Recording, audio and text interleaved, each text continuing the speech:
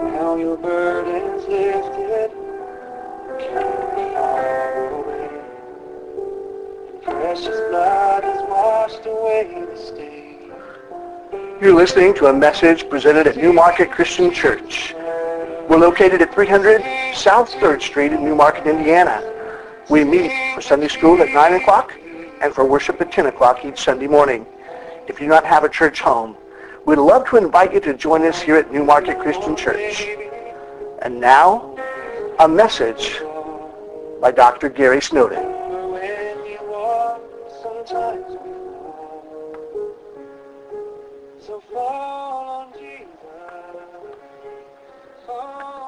And the title of the message as a result of that is True Love.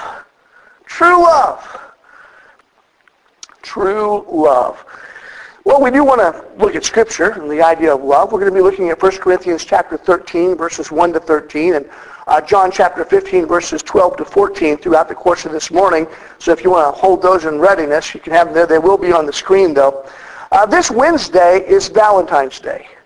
Now, I don't know what you're doing, but my wife is working, so I'm going to go with Wally and the crew up to Cheddar's. That's, that's what I'm doing.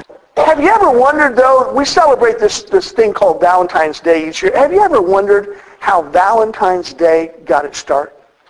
You ever kind of wonder that? I mean, we celebrate this thing, but where in the world did it come from? Well, here's, here's what I'm told. What, what did you say? Cupid? Cupid did it?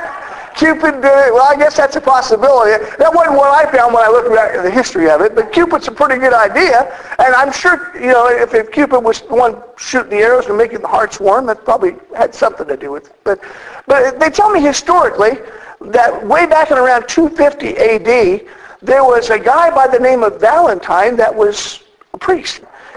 He was made a priest in Rome. So this is a pretty big highfalutin priesthood in the city of Rome itself. He made his home in Rome. That kind of rhymes. Valentine made his home in Rome. Valentine, Valentine made his home in Rome. And during this time, the emperor that was reigning in Rome, his name was Claudius. So here's we've got Valentine that's a, a, new priest in Rome. Claudius is the ruler there. Some people called him Claudius the Cruel because he did some things that to everyone in his kingdom seemed to be pretty cruel. You see, Claudius, Claudius literally tried to force his men throughout the kingdom to fight in his army. Valentine didn't like him much. Other people didn't like him much. They felt like he was just a horrible leader because they did something that literally broke the hearts of thousands. You see, Claudius wanted a really big army because he wanted to be strong and he wanted to be powerful. But it seemed like something was getting in the way of that. He thought men should willingly volunteer to go fight with him, to go conquer the world, to be a part of his army. But men were refusing to volunteer because for some reason they'd rather be at home with their wife and kids than out fighting battles. So no one was volunteering for Claudius's army, and he had, he had to think about that for a while and come up with a solution on how to make it all better. He wanted to find some way to get men to step up and volunteer to go fight. The fact that they wouldn't join, it just really ticked him off to no end. He thought about that, and he thought about the fact that they were saying they'd rather stay at home with their wives and with their children. And he came to a conclusion. The conclusion he came to is if they were not allowed to get married, they wouldn't have wives, they wouldn't have children, and they'd be more inclined to join my army. So what Claudius did is he decreed that there would be no more marriages throughout his entire kingdom. They were done. No more. The young people that were living there in Claudius's kingdom thought that this new rule, this new law was really, really, what word are you going to use? Strange? Anything else? Ridiculous? Anything? Huh? Hogwash? Huh? Cruel. Any others? I'm a hillbilly. I just saw it just plain dumb. But, uh, you know, uh, But the people there, they thought it was really, really dumb, really, really cruel, hogwash, anything you want to put on it. And Valentine, the priest, he thought it was absolutely ridiculous too. One of his favorite duties as a priest was to marry people. Mine was 30 years ago. It has gotten more and more confusing over the years. 30 years ago, you married a couple, they stayed married for a lifetime, and things just kept going. Now you get ready to do a wedding, and you've got the last wife and the wife before that and all their families, and they're trying to figure out where to set them all. It gets real confusing. It's not nearly as much fun as it used to be. But back then it was a lot of fun. They enjoyed doing the weddings, and he was not happy that Emperor Claudius had made it so he couldn't marry folks anymore. So you know what Valentine did? He decided, in spite of what the emperor thought, he was going to keep right on performing marriage ceremonies. But in order to keep his head, he had to make sure he did it in secret. Because if Claudius found out, it wouldn't go well for Valentine. He would get inside a, a room with the two people that wanted to get married, and he would whisper the ceremony. Dearly beloved, we are gathered here in the sight of God in the face of this company to join this man and this woman in holy matrimony, which is an honorable estate instituted. You can just imagine the quietness, the whispering, and all the time their ears were perked to the hilt, listening in case there might be footsteps outside the door coming to find them and lead them away to prison. One night as he was whispering the vows, one night as he was whispering the vows, they heard footsteps coming up the walkway toward the door. He ended the ceremony really quick and he ushered out the couple that he was marrying. I now pronounce you man and wife. Get going! But he didn't make it out in time. He stayed back to face the soldiers as that couple got away. And Valentine Valentine was taken and he was thrown into the dungeon and told that his punishment would be death. That's pretty bad punishment for just marrying a couple of folks. But in marrying them, he had defied the order of the king. And the king had to show that he was the one who was in control.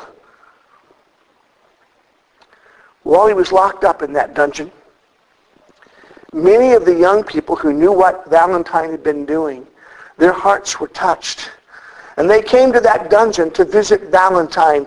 And whenever they got there, they would throw in notes and they would throw in flowers through the bars of the prison in order to let Valentine know how much they appreciated his willingness to risk his own life so that they might be wed one to the other. They wanted Valentine to know that they too believed in true love, that they too believed in marriage.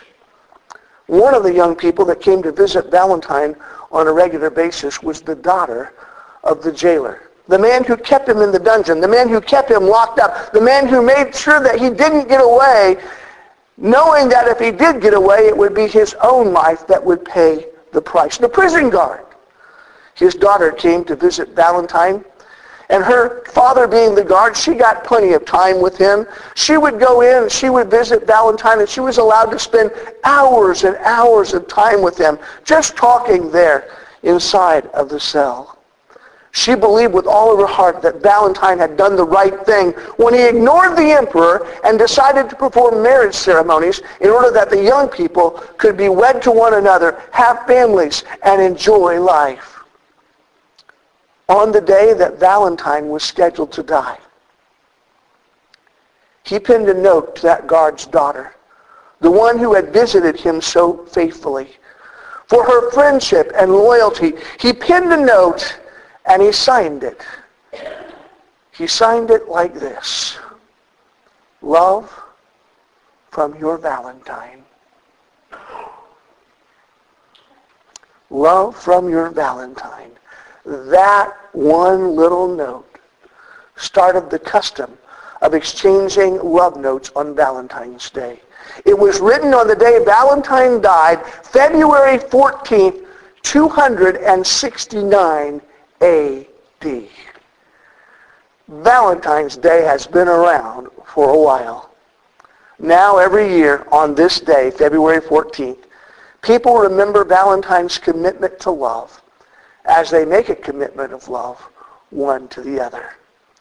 You know, when I was in grade school, we gave out Valentines, so uh, I'm, I'm one of those people that can remember back there. I'm thinking some of you might have done the same thing. Remember those decorated boxes? We sit there, we put hearts on them, we decorate those boxes, cut the slit in the top, and you would wait for your friends to bring uh, Valentines and put them inside of the boxes. Now this was really good for some kids. I mean, if they were popular, they got all kinds of Valentine's cards. They put suckers inside the card and things to let them know that they were particularly special, or Tootsie Roll, or, or Bazooka Bubble Gum. You know, get in trouble with this class afterwards for having it in there. Um, they got all kinds of things inside their box. The popular kids did really well, but the kids that weren't quite so popular, it was real tempting not to put the suckers in their cards. It was real tempting not to even give them a card at all. And sadly, some of those who were not well liked would, would have received no cards at all if it were not for the watchful care of their teachers, making sure that everyone had cards inside of their boxes. The fact is, people, and kids especially, they treat love like a commodity. If you are somebody I mean, if people look up to you, if, if you are the, the jock at school, or if you are the cheerleader at school, if you're somebody special, if people look up to you, you're treated one way. If you look a certain way, I mean, you dress in, in all these fancy clothes. What are some of those fancy clothes names? Izod. I remember Izod. Prada. Is that a clothes name? What? What? Those are shoes. Anybody wear fancy clothes? I, don't, I get mine at Walmart. I don't know. Sometimes J.C. Penney's if I really want to splurge. And whenever I don't want to, I go to Goodwill. what are those fancy clothes names? You don't know either. Polo. Okay, Polo. Any others? Huh? Gap? That's, that's what we used to have. We kept the horses in with. Wire with a stick? Huh? Hollister? Yeah. American Eagle? So, so there are, you know what I'm talking about, those the fancier clothes. If you look a certain way, you wear fancy clothes, then, then people, they really, they want to show you love. I mean, that designer clothing, it can do it for you. It says, if you have that designer clothing, I'm going to love you. But if you don't, you don't expect anything from me. Friends, that is not true love. God describes love for us in the book of 1 Corinthians chapter 13 verses 1 to 13. And it is a beautiful description. It's going to be on the screen. Let's read it together there. It says, if I speak with the tongues of men and of angels, but have not love, I'm only a resounding gong or a clanging cymbal.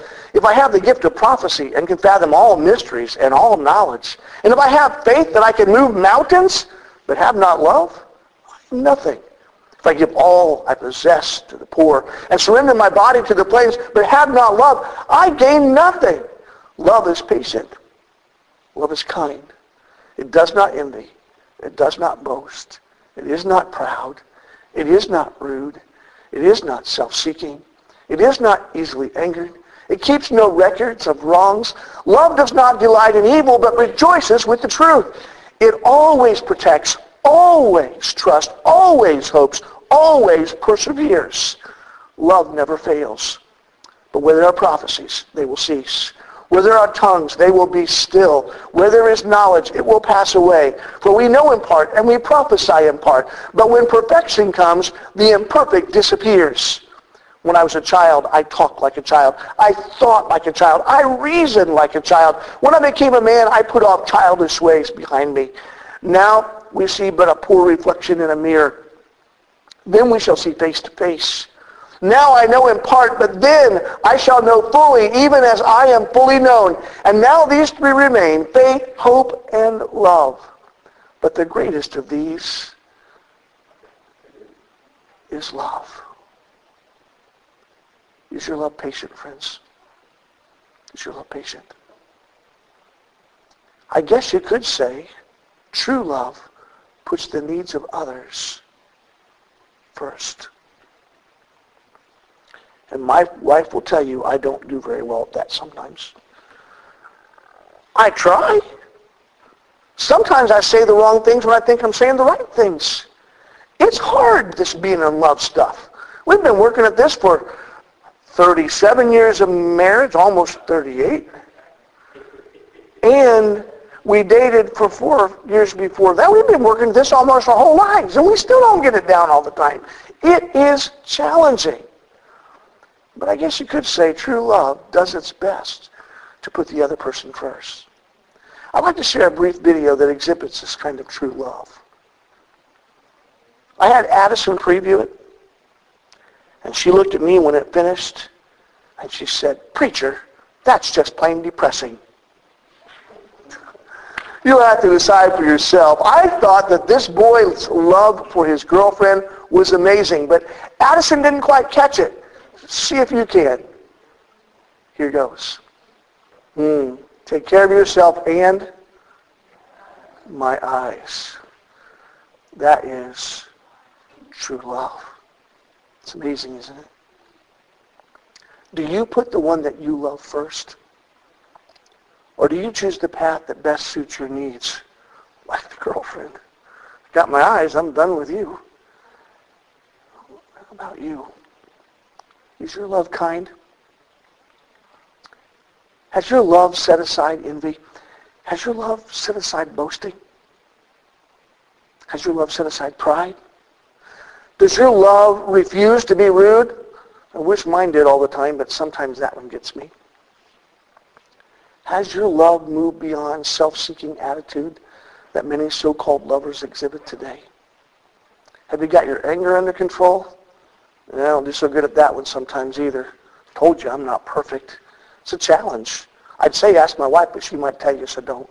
Do you keep running records of the wrongs done to you? Do you willingly forgive? Do you trust the one that you love? Do you protect the one that you love? Does your relationship overflow with hope? Are you committed to making sure that your love perseveres no matter what? Do you possess a love that never fails? Or do you possess a love that would sacrifice everything to make the one you love complete? That's the kind of love Jesus has for us willing to sacrifice everything to make us complete. God has set the bar really, really high. In John 15, verses 12 to 14, we read these words. It says, My command is this. Love each other as I have loved you. Greater love has no one than this, that he lay down his life for his friends as we love God and as we love one another, let us always remember it's not going to be easy, but it will always be worth it. Are you ready to say, God, I really, really love you? Are you ready to declare that God's love is perfect his love for you is, is, is what makes you complete and extends his grace and makes your salvation possible. Are you ready to look at God and say, God, I recognize only you could do this for me? Are you ready to admit that God is worthy of all your love and of all your praise? If you're ready to make that commitment, I want to encourage you to come as we stand and sing this morning our hymn of commitment. Only you. You've been listening to a message presented by Dr. Gary Snowden, minister at New Market Christian Church. We would love to have you come join us as we seek to worship God, love one another, and reach out to our neighbors.